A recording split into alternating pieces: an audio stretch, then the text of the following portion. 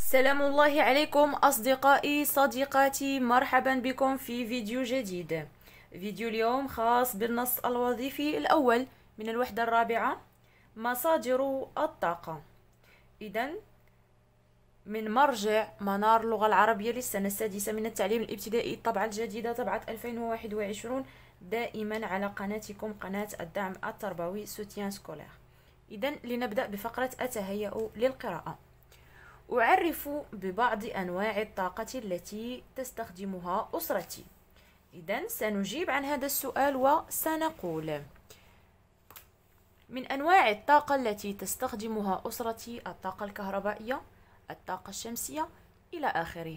هنا بالنسبة للطاقة الشمسية في إشارة لبعض المنازل التي تعتمد على الطاقة الشمسية في توليد الطاقة الكهربائية.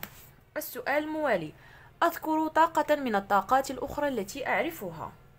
إذا سنجيب وسنقول إذا انطلاقا من دروس النشاط العلمي والدروس السابقة في إطار دائما الطاقة ومفهوم الطاقة. إذا آه، تعرفنا على مفهوم الطاقة الريحية الطاقة الكهرومائية والطاقة المغناطيسية. إذا نمر إلى الملاحظة والتوقع. إذا من خلال الصورتين. إذا ألاحظ الصورتين وأسمي نوع الطاقة التي تدل عليها كل آه، كل صورة. إذا الصورة الأولى فهي تعبر عن الطاقة الكهرومائية. إذا الطاقة آه، يعني تتولد نتيجة آه، تدفق الماء. إذا عبر السدود بالنسبة للطاقة الثانية فهي الطاقة الشمسية طاقة نظيفة. إذا باعتماد الألواح الشمسية التي تقوم بتوليد الطاقة انطلاقا من أشعة الشمس. إذا سنجيب وسنقول الصورة الأولى لسد مائي حيث يتم توليد الطاقة الكهرومائية والصورة الثانية لألواح شمسية لإنتاج الطاقة الشمسية. إذا أنطلق من الصورتين ومن عنوان النص وأتوقع موضوعه. إذا انطلاقا من العنوان والصورتين أتوقع أن يتحدث النص عن أنواع ومصادر الطاقة. إذا سنتعرف أنواع الطاقة ومصادر الطاقة. إذا لنقرأ النص ونتعرف مضمون النص. إذا تابعوا معي النص. بعد قراءة النص سنجيب عن جميع الأسئلة الخاصة بهذا النص. إذا من الصفحة 127 128 129 إذا تابعوا معي الفيديو إلى الأخير. مصادر الطاقة. مر استخدام الطاقة بمراحل. وفي كل مرحلة منها تتطور مصادرها وتتجدد طرائق توليدها. ويمكن تقسيم أنظمة توليد الطاقة الكهربائية إلى قسمين هما. أولا التوليد بمصادر الطاقة التقليدية. وهو عبارة عن مكونات الطاقة ومصادرها التي لا يمكن إيجاد بديل مماثل لها أو تعويضها. وهناك عدد من طرائق إنتاج الطاقة الكهربائية باستخدام هذه المصادر أهمها ألف الوقود الأحفوري متوافر في الطبيعة وتكلفته منخفضة مقارنة بمصادر الطاقة الأخرى. ويتم إنتاج الطاقة الكهربائية من هذا الوقود بحرق الفحم الحجري أو الغاز الطبيعي أو البترول وبعض مشتقاته للاستفادة من الحرارة الناتجة عن عملية الاحتراق في رفع درجة حرارة الماء للحصول على البخار الذي يتدفق ويدخل التوربين فيؤدي إلى دورانه الذي يتولد عنه الكهرباء. باء الوقود النووي. يعد استخدامه من المصادر المهمة والمشهورة في إنتاج الطاقة الكهربائية وطاقته أعلى بكثير مقارنة بالناتجة عن الوقود الأحفوري. لأن جراما واحدا من اليورانيوم يعطي طاقة تقدر بنحو 822 ألف كيلووات ثانيا التوليد بمصادر الطاقة المتجددة. تعرف بأنها المصادر التي تتجدد وتتوافر دائما أو في فترات قصيرة كطاقة الشمس وطاقة الرياح. وتشير الدراسات إلى أن مصادر الطاقة المتجددة ستكون أسرع نموا في مجال توليد الطاقة الكهربائية من جميع أنواع الطاقات الأخرى لاعتبارات الآتية. لا يؤدي إنتاجها للكهرباء إلى انبعاث غازات تضر بالبيئة. تعتبر مصدرا آمنا لعدم الاعتماد في إنتاجها على دول أخرى. تشجيع الدول لهذا النوع من الطاقة وتخصيص مبالغ مهمة للاستثمار فيها حفاظا على البيئة وتجنبا للتلوث وللأضرار التي تلحق بالطبيعة أو تلحق الطبيعة والإنسان. وأمام هذه الخطورة التي تهدد البيئة والكائنات الحية فكر العلماء والباحثون في بدائل نظيفة لتوليد الطاقة. نذكر منها ما يأتي. الطاقة الشمسية تعتمد على توليد الطاقة الكهربائية باستخدام مواد خاصة تقوم بامتصاص الأشعة الشمسية وتتميز بطول عمرها الزمني وعدم حاجتها إلى صيانة دورية مكلفة. وهناك مجمعات شمسية كثيرة في العالم تستفيد من هذا المصدر المتوافر. وقد انخرط المغرب في هذا التوجه الجديد وأنشأ أكبر محطة لتوليد الطاقة الشمسية بمدينة ورزازات سماها محطة نور واحد ونور اثنان. طاقة الرياح. طاقة نظيفة تعد من الوسائل المنتشرة والناجحة التي أثبتت نجاعتها في إنتاج الطاقة الكهربائية كما هو منتشر في معظم دول العالم. وتعد سرعة الرياح محددة لكمية الإنتاج الكهربائي وعادة ما تكون المراوح كبيرة الحجم ومرتفعة عن سطح الأرض. ويعتبر الاهتمام بهذه التقنية من الوسائل المهمة في مجال صناعة الطاقة النظيفة. الطاقة المائية. يتم استغلال الماء المتجمع في السدود الكبيرة بأن يصنع له مجرا بأوصاف معينة. يتدفق فيها الماء من مكان مرتفع إلى آخر منخفض بحيث يمر هذا التيار المائي القوي على توربين مائي خاص فيتم دورانه وبدورانه ينتج الكهرباء. أما المياه التي أدارت التوربين فيعاد استغلالها في الفلاحة وغيرها. إذا هذا هو النص الذي يتحدث عن أنواع الطاقة وعن مصادر الطاقة سواء الطاقة التقليدية أو آه، الطاقات المتجددة. إذا لنمر إلى فهم النص. نبدأ بأنمي رصيدي المعجمي. أضع علامة في أمام المعنى الصحيح. إذا مماثل. مماثل هل تعني مشابه مختلف أو متمازج؟ إذا فكلمة مماثل تعني متشابه. مماثل الشيء يعني مشابه له. أبحث في النص عن ضد الكلمات الآتية منخفض الأبطأ الاستهلاك. إذا بالنسبة لكلمة منخفض إذا نقول مرتفع أو ضدها مرتفع من النص دائما. مرتفع. بالنسبة لكلمة آه إذا لاحظوا معي كلمة مرتفع. إذا من مكان مرتفع. لاحظوا.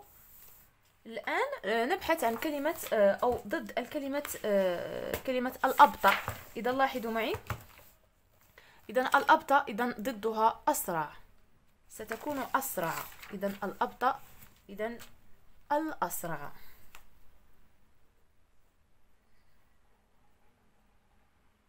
إذا الأسرع. بالنسبة للاستهلاك إذا ضدها الإنتاج. إنتاج الطاقة. الإنتاج.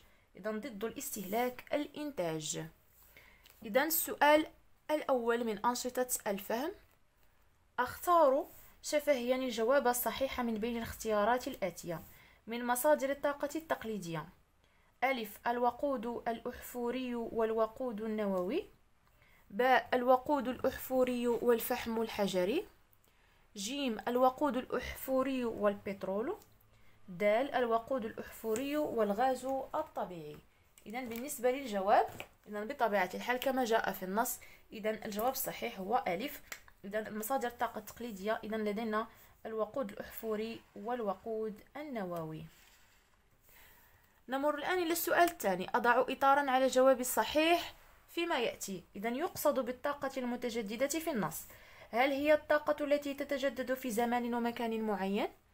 أو الطاقة التي تنتجها آلات جديدة أو الطاقة التي تتجدد عفوا وتكون متوفرة باستمرار. إذا الجواب الصحيح بطبيعة الحال هو الجواب رقم ج لماذا؟ لأنها طاقة تتجدد لا ترتبط بزمان ومكان معين وتكون متوفرة باستمرار بطبيعة الحال كالطاقة الشمسية وطاقة الرياح.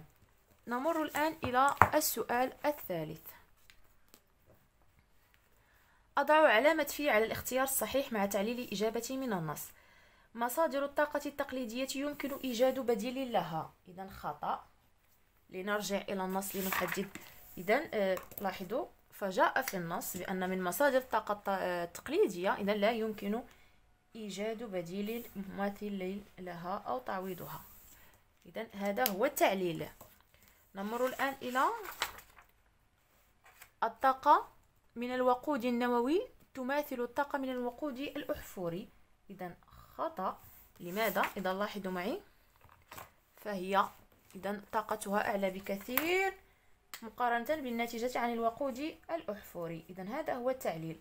إذا طاقة الوقود النووي أعلى بكثير. لا تماثل آه، آه، الطاقة الناتجة عن الوقود الأحفوري بل هي أعلى بكثير. مصادر الطاقة الشمسية لا تحتاج إلى صيانة. صحيح. إذا لأنه إلى رج... إذا آه، قمنا بالرجوع إلى النص خصوصا عندما تحدث الكاتب عن الطاقة إذا الطاقة الشمسية. إذا لاحظوا معي فقد قال بأن يعني وعدم حاجتها إلى صيانة دورية ومكلفة. إذا هذا هو التعليل من النص. عدم حاجتها إلى أو حاجتها إلى صيانة دورية مكلفة. إذا لنتمم. السؤال الرابع. ما الذي تتطلبه طاقة الرياح لتوليد الكهرباء حسب النص؟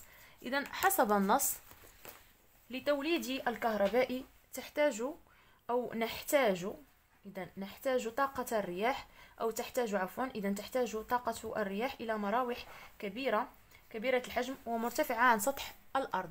إذا لتوليد الكهرباء تحتاج طاقة الرياح إلى مراوح كبيرة. إذا يجب أن نتوفر على مراوح كبيرة الحجم ومرتفعة عن سطح الأرض. إذا مراوح كبيرة الحجم ومرتفعة عن سطح الأرض لكي يتم إنتاج الطاقة آه، الكهربائية انطلاقا من طاقة الرياح. نمر الآن إلى السؤال الأول من أحلل.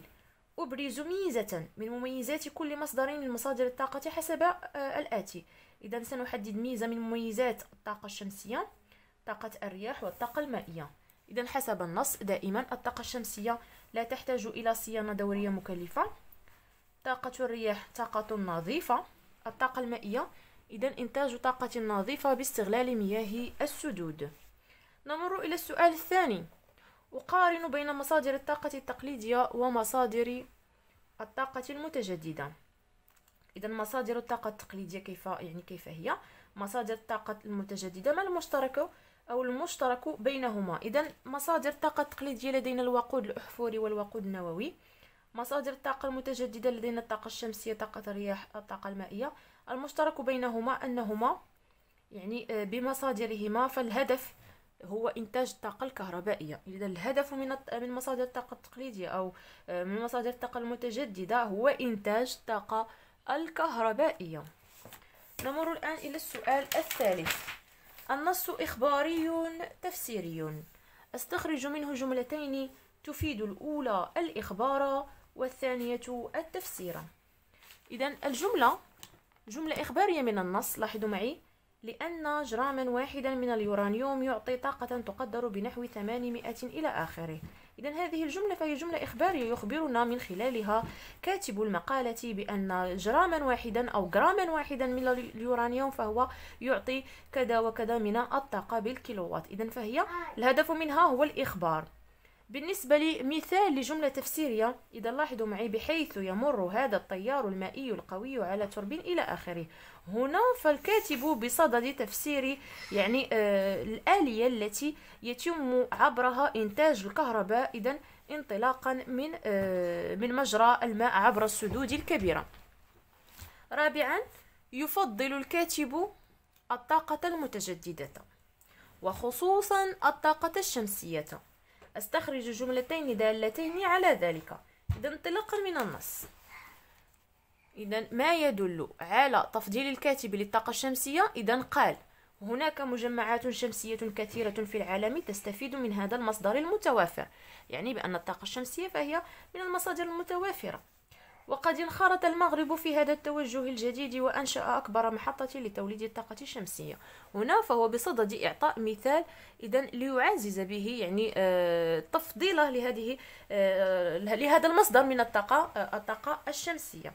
نمر الآن إلى أركب وأقوم. السؤال الأول من فقرة أركب وأقوم. السؤال الأول أركب أربع جمل تلخص ما أورده الكاتب عن الطاقة المتجددة. إذا سأقترح عليكم يعني آه يعني بعبارة أخرى نلخص ما ذكره الكاتب بخصوص الطاقة المتجددة. إذا يمكن أن نقول تطرق صاحب النص إلى مصادر الطاقة التقليدية والمتجددة. وعن الحديث عن هذه الأخيرة يعني الطاقة المتجددة أشار الكاتب إلى أنها تعرف نموا سريعا لعدة اعتبارات. كما ذكر أهم مصادرها كالطاقة الشمسية وطاقة الرياح والطاقة المائية. السؤال الثاني أكتب فقرة من أربعة أسطر عن أهمية الطاقة في حياتي وأقرأها على زميلاتي وزملائي. إذا يمكن أن نقول بأن مثلا يعتمد الإنسان في حياته على الطاقة في مجالات متعددة وتكتسي أهمية بالغة في عصرنا الحالي. لذا من المهم جدا الوعي بضرورة ترشيد استعمال الطاقة والتوجه إلى استعمال الطاقات المتجددة باعتبارها طاقة نظيفة وتفعيلا لمبدأ التنمية المستدامة. آخر سؤال إذا من فقرة أقوم وهو تحديد موقف آه، شفهي في ثلاث جمل من مصادر الطاقة التقليدية. إذا آه، سأقترح عليكم مثلا آه، هذا الموقف إذا يمكنكم اعتماده. إذا لصياغة موقف خاص إذا حول يعني مصادر الطاقة التقليدية. إذا نظرا لما نعيشه حاليا من تغيرات مناخية نتيجة التلوث الذي تعيشه الكرة الأرضية. أدعو إلى استعمال الطاقة المتجددة أولا لتخفيف الضغط على مصادر الطاقة التقليدية باعتبارها أنها يعني لا بديل لها لا تتجدد. إذا ومخافة استنزافها إذا من الطبيعة. وثانيا للتقليص من حدة التلوث لأنه كما تعرفون مصادر الطاقة التقليدية فهي تساهم بشكل كبير في التلوث الذي نعيشه حاليا من احتباس حرارة ارتفاع درجة الكوكب إلى غير ذلك التصحر الجفاف.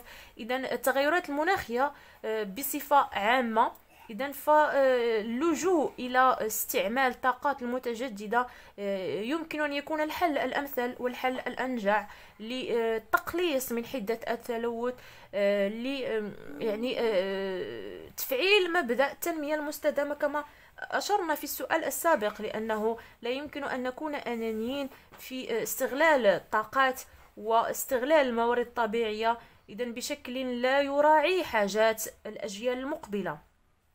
إذا هذا كل ما في الأمر. إذا آه، السؤال الثاني اذا من أقوم هو أن نطلب من زميلاتي وزملائي رأي كل كل منهم في مصادر الطاقة المتجددة بطبيعة الحال سؤال شفوي خاص يعني باستثمار الحصيلة يعني الحصيلة العامة لهذا النص الوظيفي. إذا الأول من هذه الوحدة. بالنسبة للاستثمار اذا هنا آه، عبارة عن نشاط اذا يتم عبر مجموعات اذا سنكون مجموعتين في القسم مجموعة تدافع عن مصادر الطاقة التقليدية وأخرى تدافع عن مصادر الطاقة الطاقة المتجددة وفي الأخير نخرج بخلاصة. هنا آه، يعني الهدف من هذا آه، السؤال هو أن نكون يعني آه، مثلا مجموعتين بحيث نحدد يعني إيجابيات وسلبيات كل مصدر من مصادر الطاقة سواء الطاقة التقليدية أو الطاقات المتجددة بطبيعة الحال والإشارة إلى يعني يعني فوائد كل كل نوع على حدة وكذلك يعني تحديد المصدر الامثل والمصدر الأحسن للإنسان وللبيئة. إذا أصدقائي إلى هنا ينتهي هذا الفيديو. موعدنا يتجدد دائما على نفس القناة مع باقي دروس المرجع. لا تنسوا الاشتراك في القناة إن لم تكونوا من مشتركي القناة طبعا فضلا آه، وليس أمرا. ومشاركة الفيديو مع أصدقائكم وصديقاتكم لكي تعم الفائدة ولتشجيعنا على الاستمرار في تقديم الدروس. أصدقائي صديقاتي إلى اللقاء.